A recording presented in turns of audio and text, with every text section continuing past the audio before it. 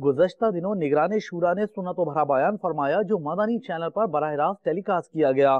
पर्दे के अंदर से इस्लामी बहनों ने आपके मदनी फूल सुनने की सआदत हासिल की, झलकियाँ देखिए आपके मदनी फूलों की। मदनी मुन्निया या मदनी मुन्ने, इनकी निगहदाश्त इनकी इनकी जो सही मायनों में तरबियत है, इसकी ज़िम्मेदारी जिनकी सिपुर्द की जाती है, उन्हें उस्ताद कहते हैं। बाजी होती हैं वो, मौलिम होते हैं, मौलिमा होती हैं, पढ़ाने वाले। तो आपके पास ये खूबसूरत से मदनी फूल जिनको खिलना है, जिनकी खुशबुओं से आगे जाकर इस माशरे को मुअत्तर होना है, इन फूलों की निगहदाश्त आपके ज़िम्मे है। किस कदर कॉन्शियस होना चाहिए एक मौलिम किस कदर परफेक्ट उसकी तवज्जो होनी चाहिए? इनकी एक एक हरकतों, आदतों पर यह समझने की ज़रूरत है। उस्ताद के बारे में सरकार सल्लल्लाहु अलैहि वसल्लम ने किस कदर अहम फरमान अता फरमाए? फरमाते किसने किताबुल्लाह में से एक आयत सिखाई, या इल्म का एक बाब सिखाया तो अल्लाह ताला उसके सवाब को क़ियामत तक के लिए जारी फरमा देता है।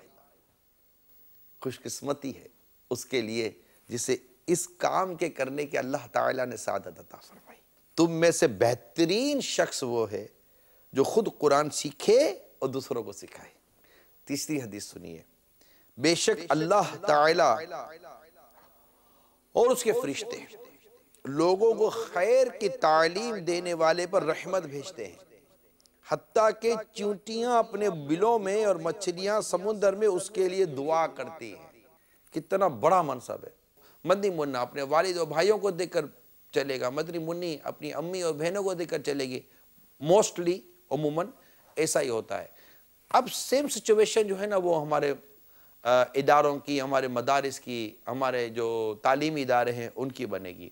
वहाँ पर बच्चों को जो सोहबत मैसर है, मदनी मुन्ने या मदनी मुन्नियों को जो सोहबत मैसर है, वो सोहबत उसके उस्ताद की है। खा वो मेल टीचर है या फीमेल टीचर है? खा वो कारी साहब है या खा वो बाजी है?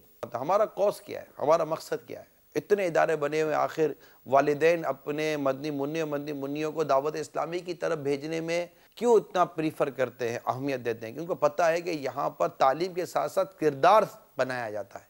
और अगर किरदार भी नहीं बनता तो फिर वालदेन को वो फ़वाद हासिल नहीं होते, जो इनको, जो जो ये तो रखते हैं। और किरदार तभी बनेगा जब पढ़ाने वाले का किरदार होगा। ये तय है। कुरान की तालीम हो रही है यार।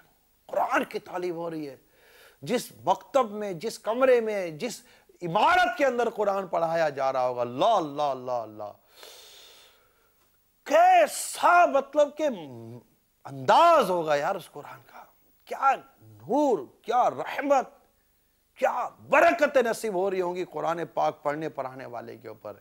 यानी बंदा जब कुरान पढ़ रहा होता है तो वो फरिश्ते जिन्हें कुरान की तिलावत कुदरत नहीं है उनका नजुल होना, उनका तिलावत सुनना और तिलावत करने वालों पर रहमतों का नजूल होना, तिलावत करने वाले का कल्ब गंदगी से पाक होना, साफ़ होना, रहमत का मी बरसना, उसको कहाँ से कहाँ लेके जा रहा होता है? तदरीसी जिम्मेदारियाँ जो हैं हमारी, तदरीसी जिम्मेदारियों के बाद की बात कर रहा हूँ मैं, या फिर उस तबके की बात कर रहा हूँ जिसका काम सिर्फ़ इंतज़ाम और मुंतजिम होकर एक निज़ाम चलाने के हवाले से है। और वाकई वो कुरान पाक की एक तरह से इस अंदाज पर, खिदमत पर मामूर हैं। लेकिन ये सब के सब एक जिम्मेदारियाँ हैं जिनका ताल्लुक एक उजरत से भी लगा हुआ है।